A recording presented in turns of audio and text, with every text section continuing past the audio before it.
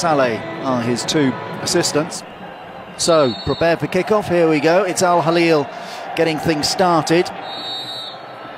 It's going to be Babakir. Oh, just wide. 11 looking to curl it in. And there comes the header. It's over the top of the bar. Oh, nice little back heel. A chance here now for Zesco. The ball right across the front of the goal of this uh, Group C. Oh, the ball coming in now. That's neatly played by Mbombo. Now is he ratcheting up? There's a shot a goal. Really trying to uh, turn the screw at the moment. Oh, little dink in. Oh, just over the top.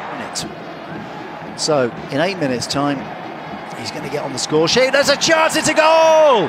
And it's Al Hilal who take the lead completely against the run of.